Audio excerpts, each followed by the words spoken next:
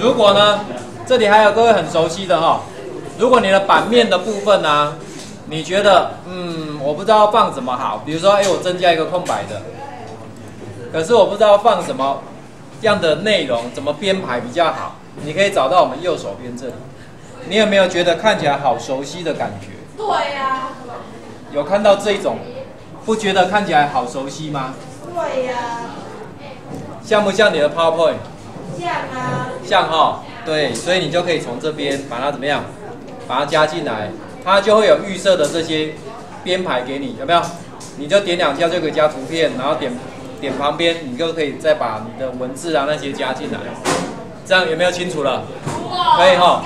所以这边还有其他的，比如说你要做一些像流程图的，就可以用这种方法，好，用这种方法，好，所以这个部分呢，先跟各位分享一下。最后我们做完要不要保存起来？要哦。PowerPoint 原始档叫 PPT，对不对？现在二零零七以后是 PPTX，那这个呢，它叫做什么？呃，PowerPoint 是，老师有新同学。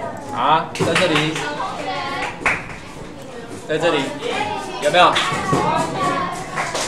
有没有看到它的副档名了？我们刚刚那个副档名，Fog 这个副档名是什么？就是 FS，好，它就 FS 哦，所以比较特殊一点点，好，比较特殊的那个副档名，你可以原始档一定要保留下来，下次你才可以怎么样重新编辑，这样 OK 吗？OK。